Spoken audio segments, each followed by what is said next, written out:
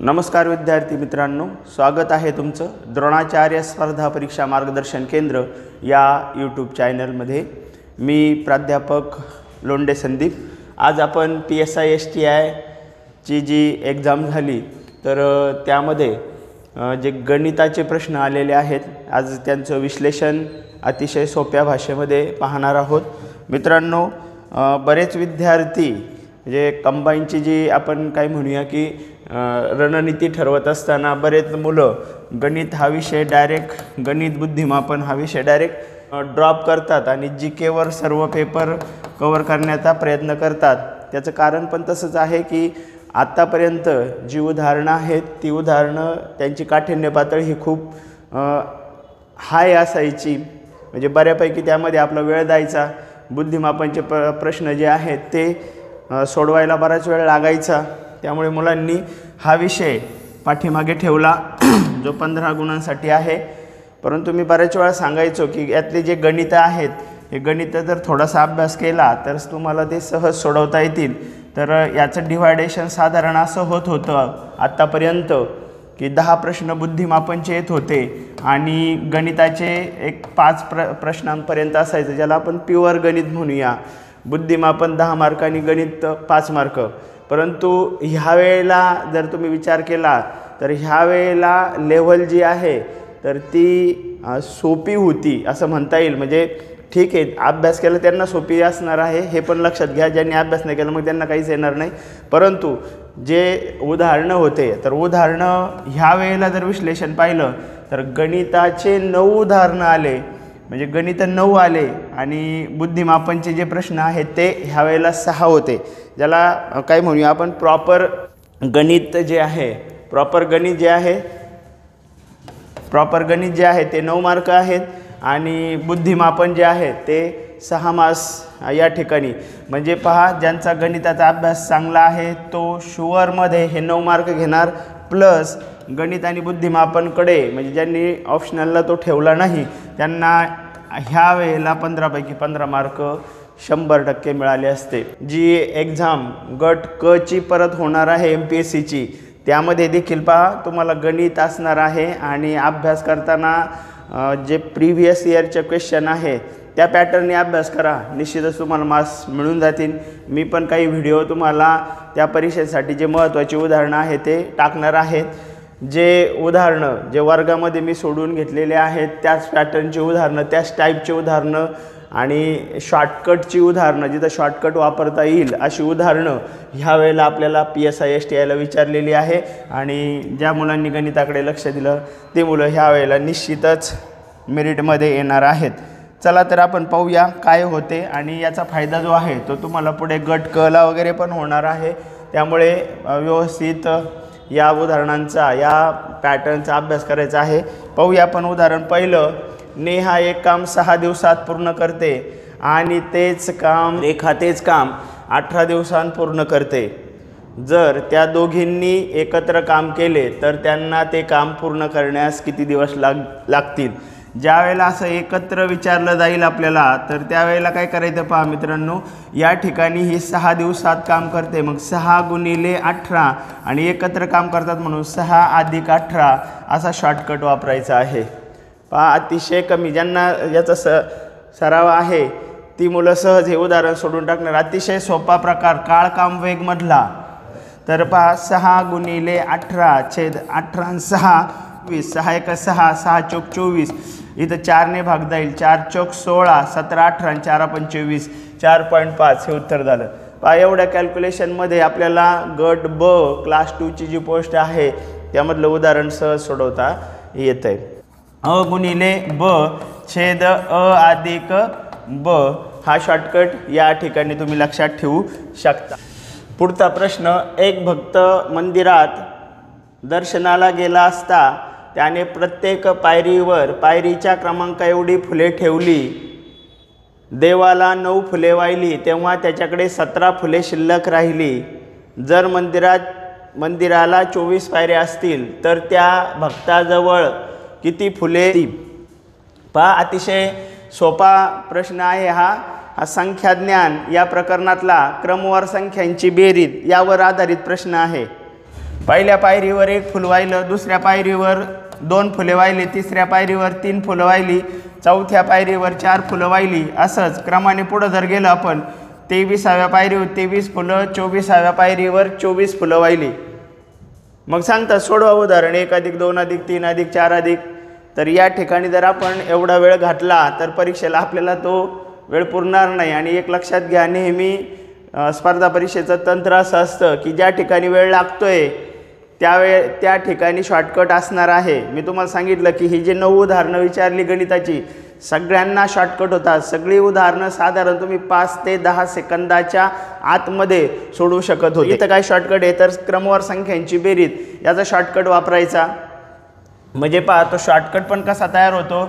समजा आता ठीक आहे चोवीस पायऱ्या म्हणून आपण काही बेरीज पण करतील. बरं जर काही ए- एक लाख पायरी असली तर मग काही एक लाखापर्यंत बेरीज करणार का आपण? तर त्यासाठी आपल्याला शॉर्टकट इथं वापरावं लागणार. तरी काही मुलं ती बेरीज करत बसतात. एक अधिक दोन लक्षात घ्या. इथं क्रमवार संख्यांची बेरीज आहे. उदाहरणाचं स्वरूप समजून घ्या. मी बऱ्याच वेळा सांगत असतो की इथे तुम्हाला जसं मंदिराचं सांगितलं तसं खुर्च्यांचं पण सांगितलं जातं. पहिल्या रांगेत एक खुर्ची दुसऱ्या रांगेत दोन खुर्च्या तिसऱ्या रांगेत तीन खुर्च्या किंवा तुम्हाला मधून पण सुरू केलं जातं. म्हणजे एकवीस एकवीस खुर्च्या बावीस खुर्च्या तेवीस खुर्च्या असं. तिथं क्रमाने ज्या वेळेला संख्या असतात त्यावेळेला क्रमवार संख्यांची बेरीज असते.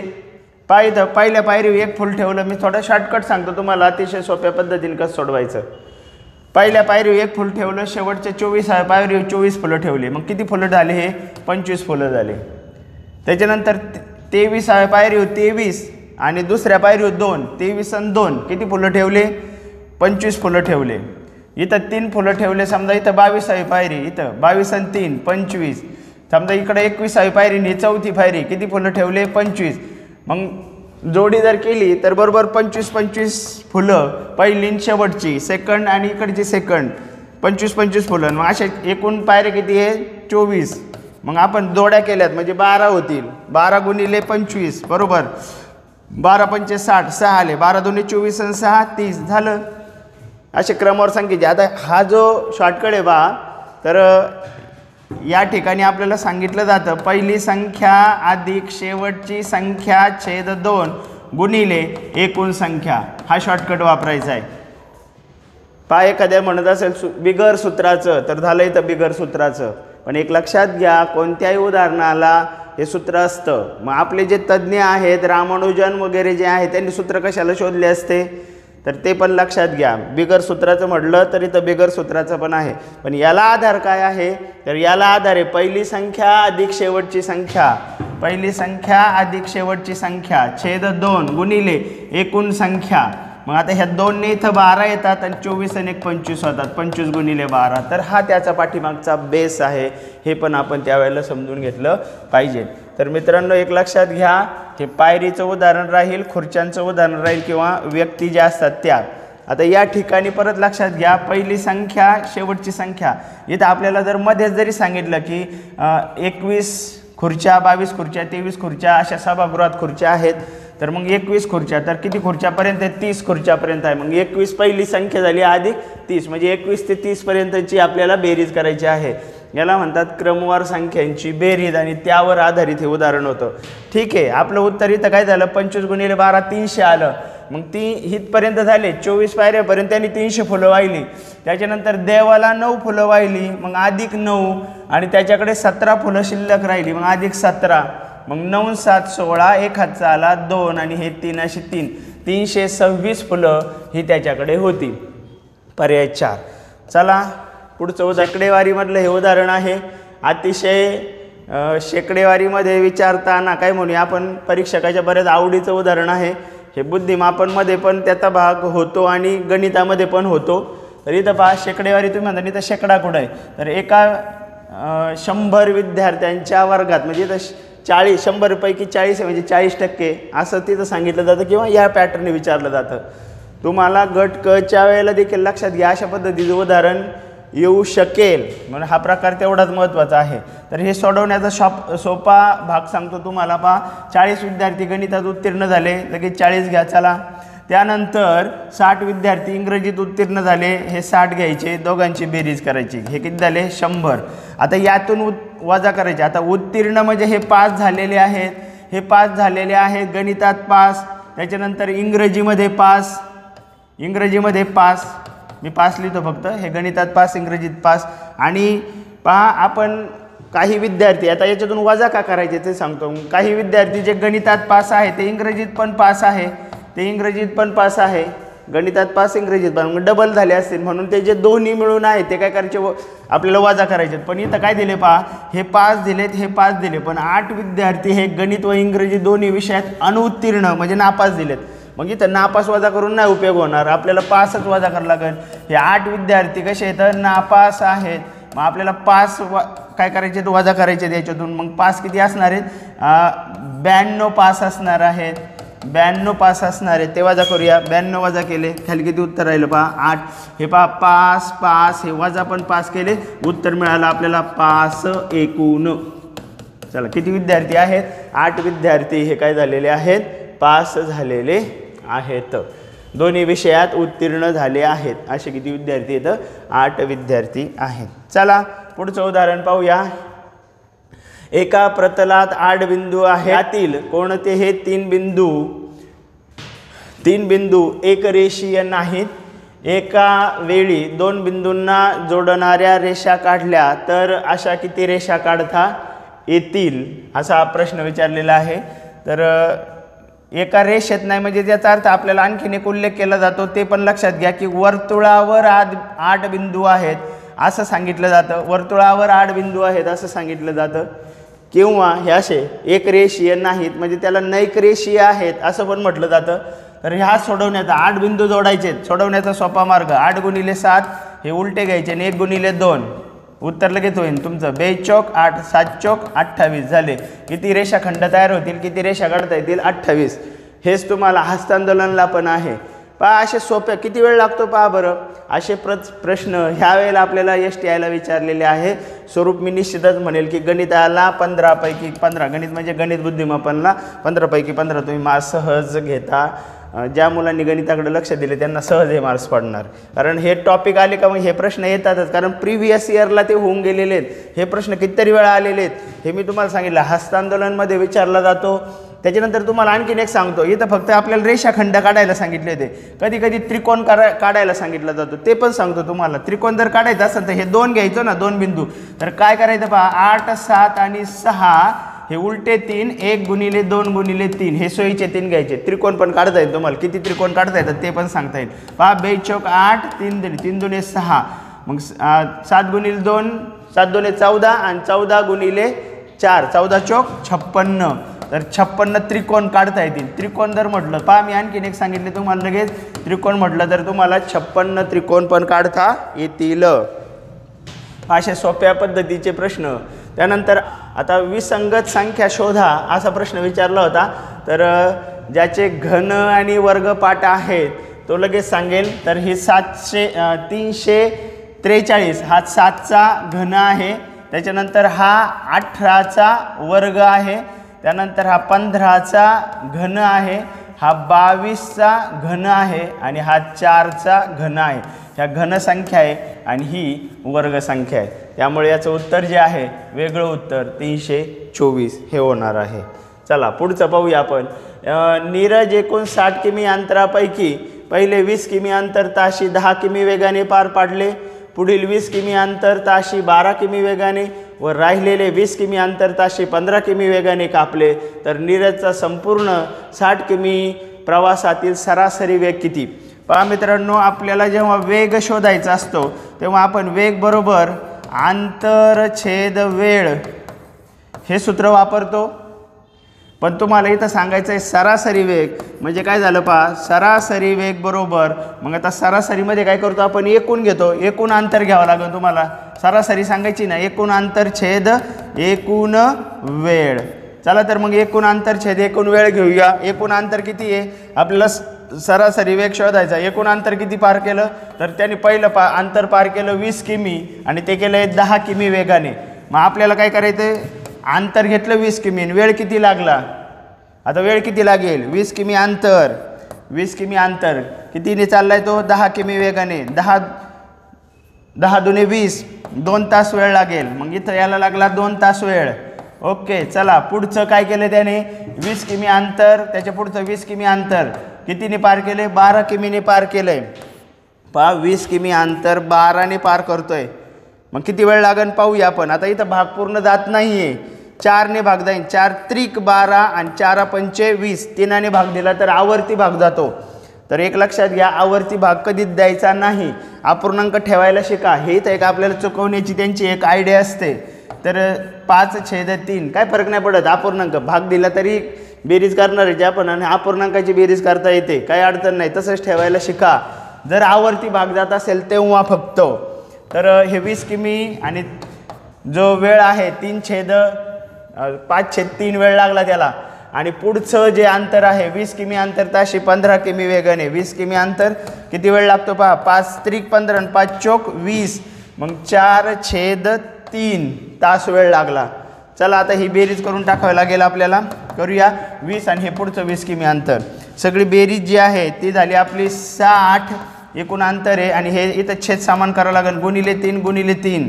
तीन दोन सहा सहा आणि पाच अकरा. अकरा चार पंधरा. मग पंधरा छेद तीन छेद समान झाला. पहा इथं क्लिअर कट उत्तर येतं. पॉईंटचा घोळ होत नाही. म्हणून मी तुम्हाला सांगितलं हे पण शिकत चला. की अपूर्णांकाने काही फरक पडत नाही. तीन एक तीन तीन पाचशे पंधरा. साठ छेद पाच आलं.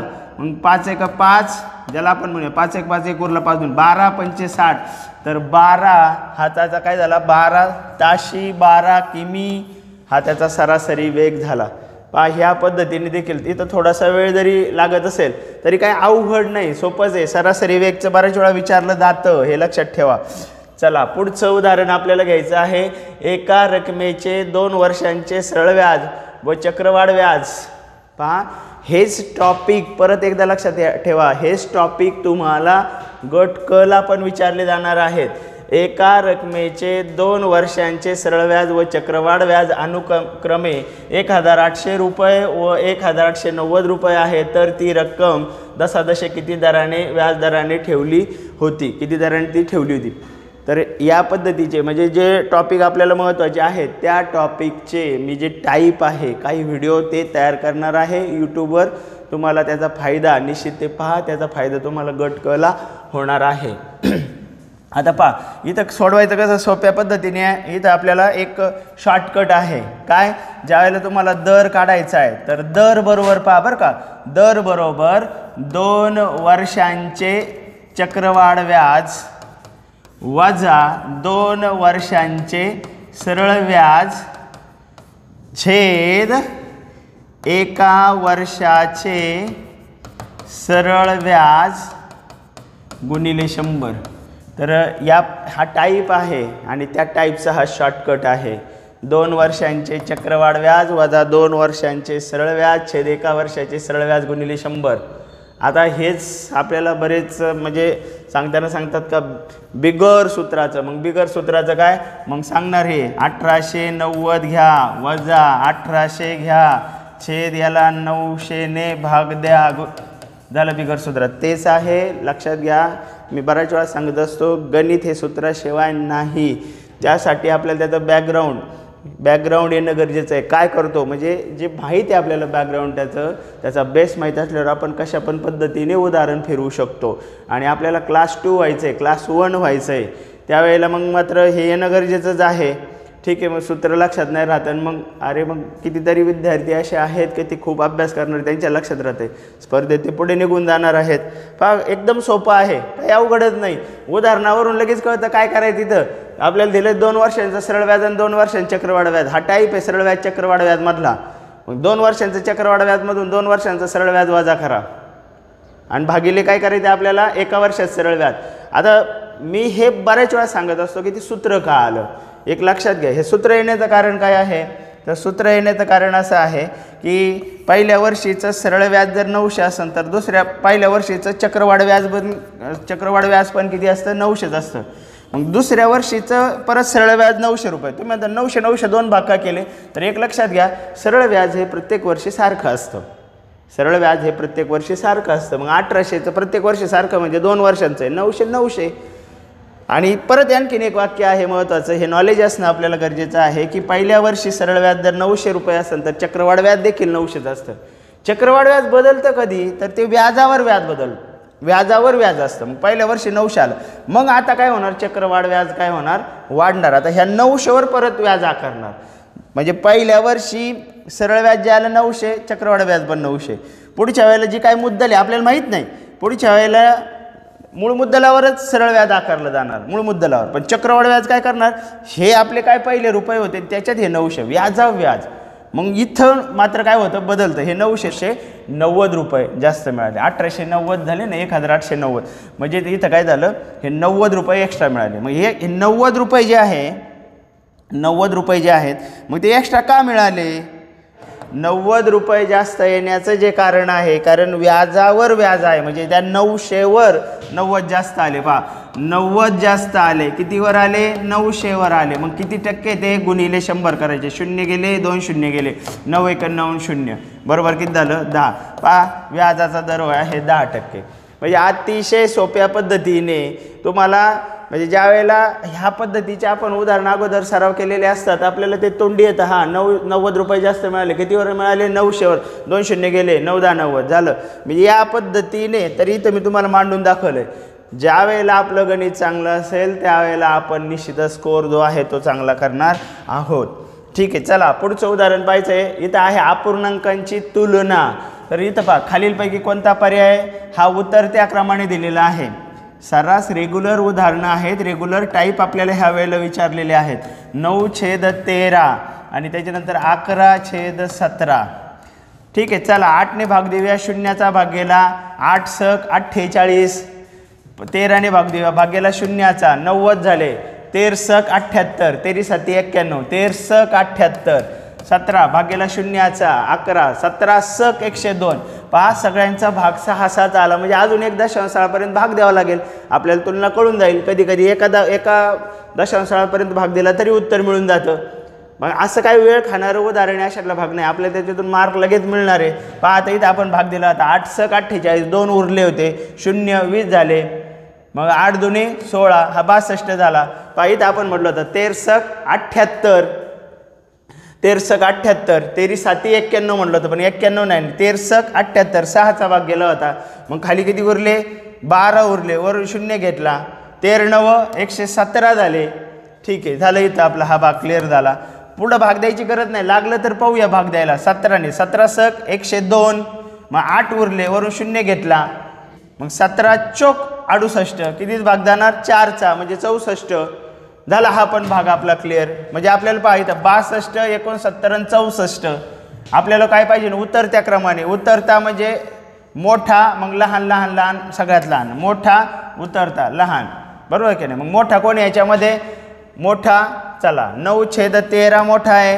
त्याच्यानंतर कोण मोठा आहे? चौसष्ट म्हणजे अकरा छेद सतरा आणि बासष्ट पाच छेद आठ. कुठं दिसतंय पर्यायामध्ये? इथं. पर्याय क्रमांक तीन. झालं उदाहरण. बागेचे प्रवेश शुल्क पस्तीस टक्क्याने कमी केल्यामुळे येणाऱ्या प्रवाशांची संख्या चाळीस टक्क्याने वाढली. तर प्रवेश शुल्कामुळे उत्पन्नावर काय परिणाम होईल? हे लक्षात घ्या उत्पन्नावर काय परिणाम होईल? हे देखील तुम्हाला कमी वेळात शॉर्टकटने सोडवता येतं. एक्स वाय छेद शंभर. या पद्धतीने उत्पन्नावर उत्पन्नावर काय परिणाम होईल? उत्पन्नावर परिणाम या पद्धतीचं उदाहरण आलं. का एक्स वाय छेद शंभरचा वापर करायचा तुमचं उदाहरण कमीत कमी दहा सेकंदाच्या आतमध्ये होऊन जाणार. बागेचे प्रवेश शुल्क पस्तीस टक्क्याने कमी केले. चला कमी करा. शंभर धरायचं. टक्के शेकडेवारी. पस्तीस टक्क्याने कमी केले. म्हणजे किती केले? पासष्ट केले. गुणिले. काय झालं त्याच्यामुळे? प्रवाशांची संख्या चाळीस टक्क्याने वाढली. चाळीस टक्क्याने वाढवा एकशे चाळीस शंभरवर. चाळीस टक्के वाढले म्हणजे शंभरवर चाळीस. आणि छेद याला शंभर घ्यायचा. चला उत्तर तुमचं लगेच होऊन जाईल. शून्य गेला शून्य गेला. इथं आपल्याला पाचने भाग देता येईल. पाच एक पाच एक उरला पाच तरी पंधरा. इथं पाच दुने दहा. दोनने भाग देता येईल. बेसाती चौदा तेरी साती एक्क्याण्णव. चला एक्क्याण्णव उत्तर आलं. म्हणजे आपल्याला हे सगळं कशाशी रिलेटेड आहे? टक्क्याशी. त्याची तुलना टक्क्याशी करायची म्हणजे शंभरशी तुलना करायची आपल्याला. शंभरशी तुलना. आपलं उत्तर झालेलं आहे. शंभरशी तुलना करायची. पहा शंभरपेक्षा कमी दिसतं एक जास्त. एक्क्याण्णव झालं आहे कमी झालं आहे कितीने कमी झालं आहे तर उत्पन्न झालं आहे तर एक्क्याण्णव म्हणजे नऊ टक्क्याने काय झालं? उत्पन्न कमी झालं. चला नऊ टक्क्याने कमी. पर्याय तिसरा. पा या ठिकाणी मी आज सगळे जे गणित आलेले आहेत प्रॉपर ते गणित घेतलेले कट कला देखील गणित या पॅटर्नचे राहणार आहे. मधल्या काळामध्ये आपल्याकडे अजून जे काय एप्रिलमध्ये परीक्षा आहे तर तिथपर्यंत मी आणखी काही व्हिडिओ टाकेल. ते निश्चित पहा. व्हिडिओ जर आवडला असेल तर लाईक करा. चॅनल सबस्क्राईब करा. धन्यवाद मित्रांनो.